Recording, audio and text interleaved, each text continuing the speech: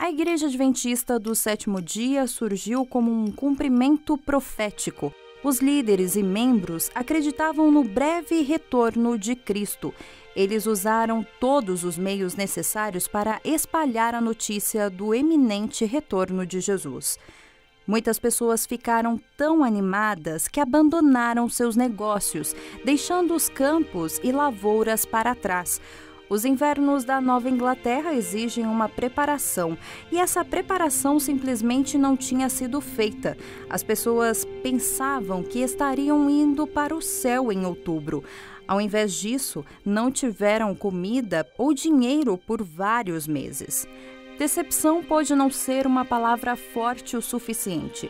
Nas palavras de uma milerita, os verdadeiros crentes tinham desistido de tudo por Cristo, sendo alvo de deboches e agravos por parte dos incrédulos, que zombavam como nunca antes.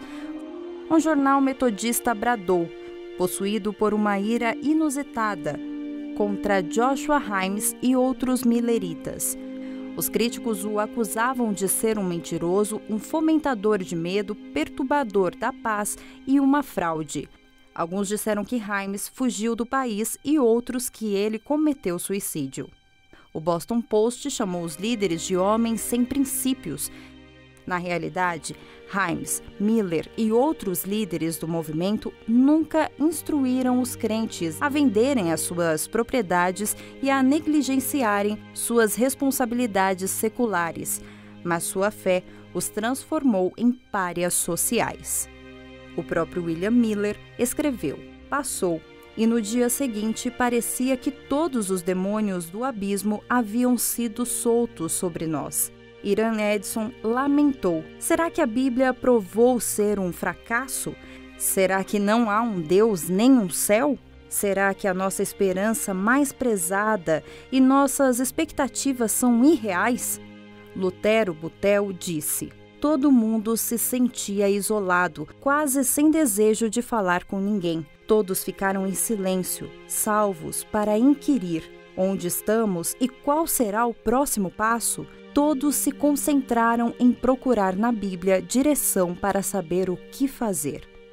Então, Irã Edson recebeu em visão uma reinterpretação da profecia e os fundadores da igreja desejaram compartilhar com os crentes a esperança que haviam perdido. A Ellen White foi mostrado em visão que Tiago White deveria começar uma revista. Sem dinheiro, mas inspirado, Tiago convence um editor a imprimir mil cópias da revista Verdade Atual. A revista esclarece o que aconteceu em 1844. O ministério editorial se torna crucial para espalhar as doutrinas adventistas emergentes, para evitar que as impressoras funcionassem aos sábados, a igreja inicia a sua própria editora, que era literalmente uma casa onde os primeiros membros da igreja viveram e trabalharam em conjunto. Irã Edson vendeu sua fazenda e doou o dinheiro para comprar uma prensa manual. Logo, a igreja começou a distribuir a revista The Second Adventist Review. Uriah Smith era quem aparava todas as arestas das revistas com seu canivete. Em suas próprias palavras, nós empolamos nossas mãos nessa operação e muitas vezes os panfletos não eram cortados tão retos quanto as doutrinas que ensinávamos. Aos 23 anos, Smith começou a servir como editor e manteria essa posição por toda a sua vida. Como o ministério de publicação crescia, o jovem canadense George King sugeriu vender assinaturas das publicações adventistas e nasceu a revista Sinais dos Tempos. O início da Igreja Adventista do Sétimo Dia foi emocionante. Os pioneiros da igreja presumiram que aqueles que renovassem suas crenças iriam compartilhá-la com seus irmãos e irmãs, e toda a grande missão se cumpriria. Mas não funcionou dessa maneira.